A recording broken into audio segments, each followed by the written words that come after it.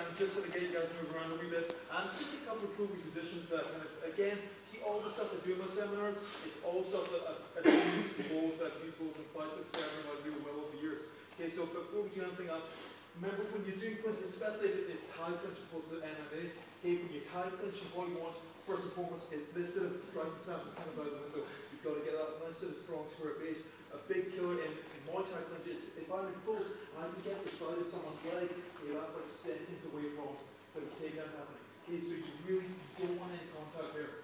Okay, you want to keep nice and square in your base, and then basically in general, and it's kind of something to see always, always in martial arts, they're done properly, the idea of keeping your elbows in.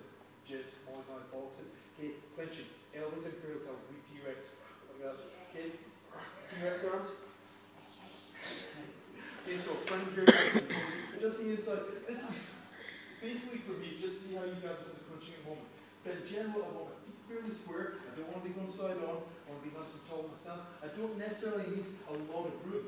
Okay, when once you create space, that's when the danger is. That's when the knees are really sort of come to the middle. So you're a wee bit safer if you're close around like that. So all going is take that basic position. Our partner's going to wrestle in from the inside. In general, it's better to be on the inside. Yeah, yeah, go hands in.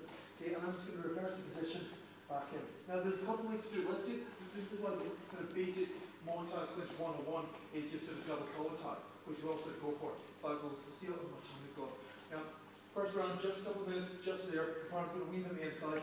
Fine, it's nice and easy. Now, if you trouble getting through the middle, guys, okay, sometimes if it's really locked in, you can kind of like move the side. If it can really close, guys, one of you can do this, but um, it's kind of break if you're kind of really walking the side of that, I can feed one up kind of up the If you put more Thai gloves on, there's no way. But what I've been doing a lot is I'll keep throwing down, move up, and use this to sort of open that up there, and that's going to be a wee gap to get through. I mean, Because some people, I mean, they're uh, strong guys, and like that, there's no way you get a hand through the middle.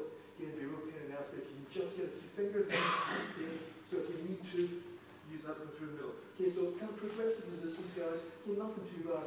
Okay, just let your partners sort of work away, or just all of them get through. If you need to, okay, I'll go keep on that.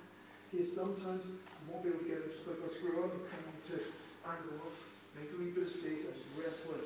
Okay, guys, so just this like minute of this, okay, your partner just moving in the inside.